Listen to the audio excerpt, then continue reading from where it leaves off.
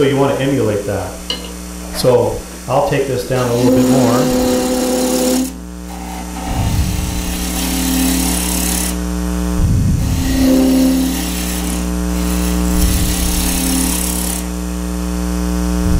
Say that's not bad.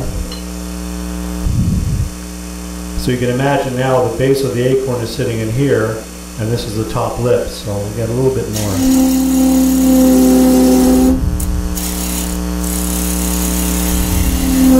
Good time to wear white, eh? Especially with black walnut.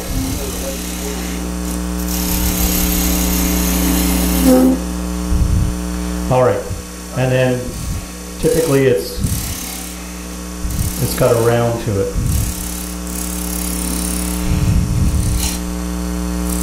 I meant to do that.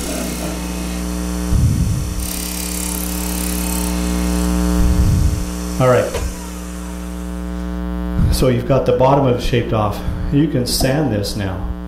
Um, when you look at Ron Brown's video, he will actually use a knurling tool and he'll put a pattern on that as it stands, and he'll pattern the bottom of the acorn. Because when he does his acorns, they're patterned all the way around. I don't do that. I'll, I like it smooth all the way around, and I don't have a tool for it. And you want sixty-five dollars for a tool, and I'm not going to pay that for a knurling uh, tool.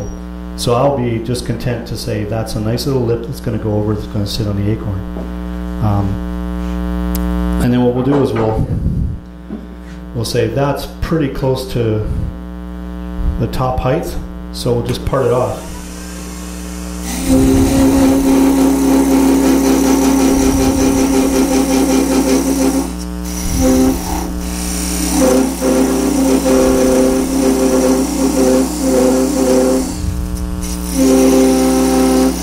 The direction momentum, it will go that way, right? Yeah, okay.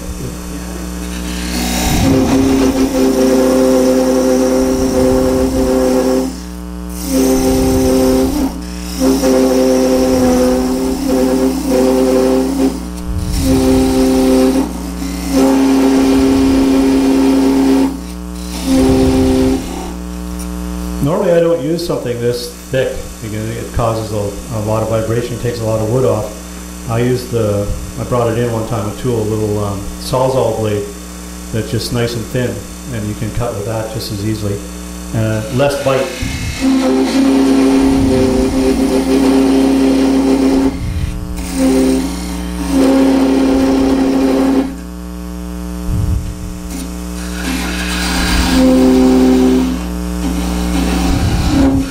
Any- What do you want to catch?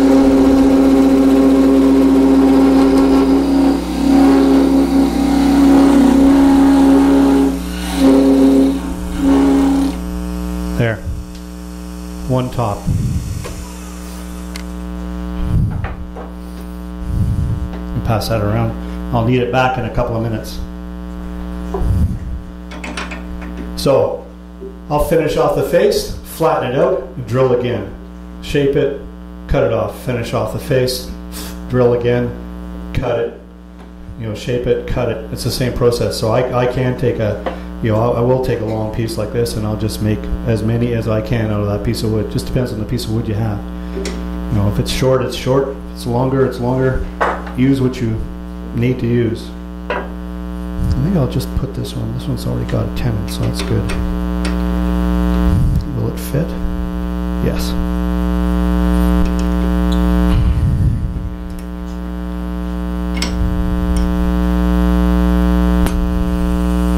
Not bad.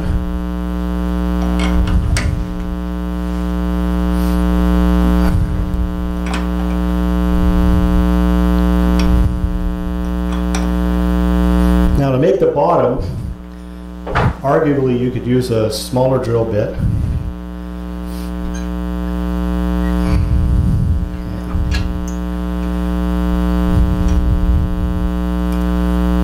And just drill a hole, but you end up with a flat bottom, right? Um, you can do it with a tool, so you can go in with a, a spindle gouge, and you can go in here and you can hollow out an area and get a nice round, you know, piece of business in there. It looks really good, and hopefully it'll work out, and you're not too big and not too small. Um, Lee Valley sells router bits. And this is called a box core bit or a coring bit. Um, it's one inch in diameter.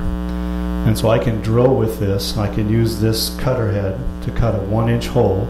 It's got a mm-hmm. nice bottom on it. It's nice and smooth, works like a charm, and it's consistent.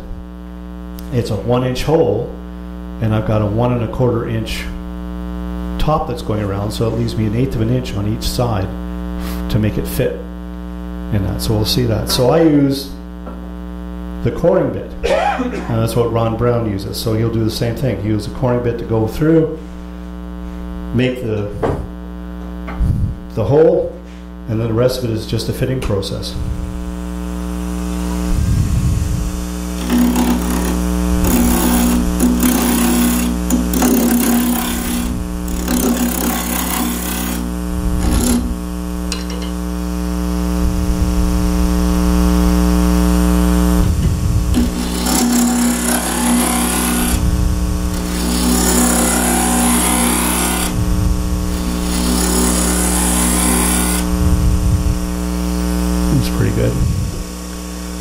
And I will always make a starter hole. This doesn't have a nice point on it. It's designed to be nice and round consistently. So when you look at that on the profile, it's round. So it won't find home. So you need to show it where home is. And you show it where home is not by doing that.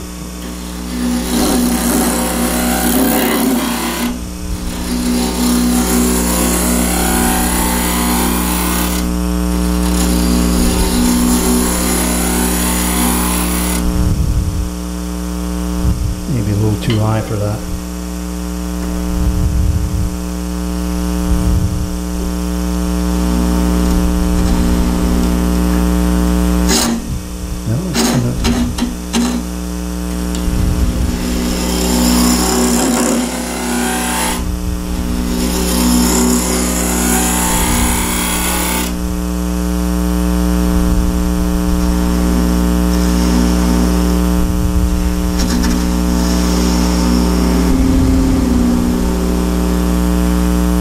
So I'll give it a little place for it to find home.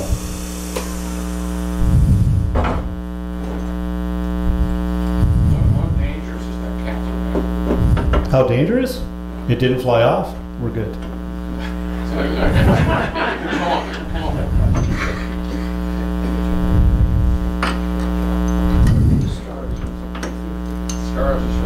Yeah, no scars so far.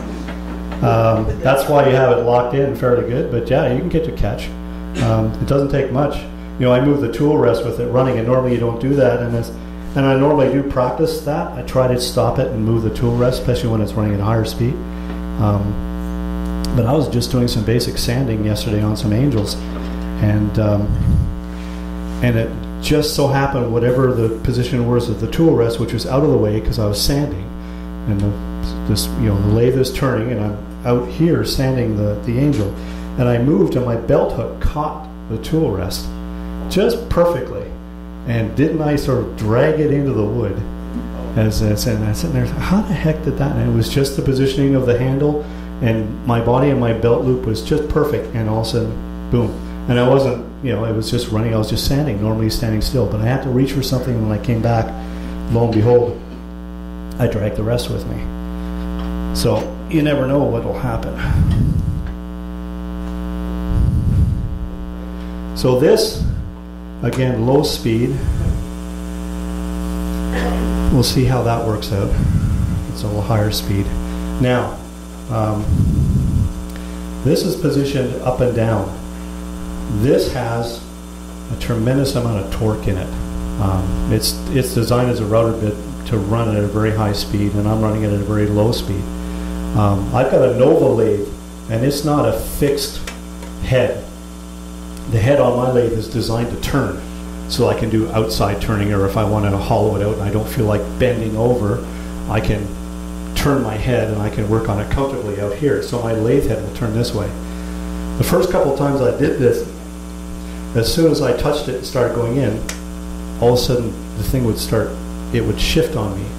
And it was because I was my approach to cutting was this way with the bit, and it was putting so much lateral torque that the clamping mechanism to keep this from moving wasn't strong enough.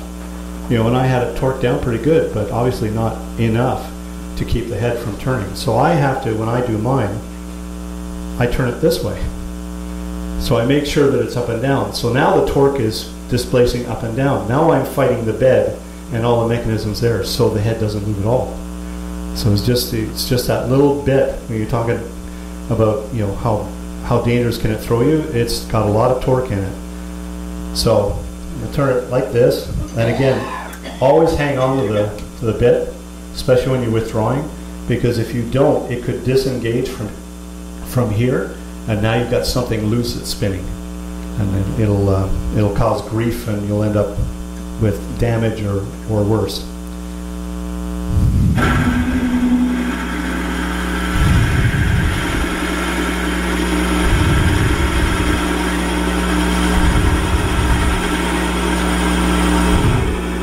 This will go so far, and then it jams up.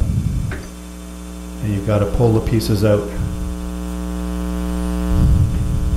I didn't bring a screwdriver up here, but. And then you go back in.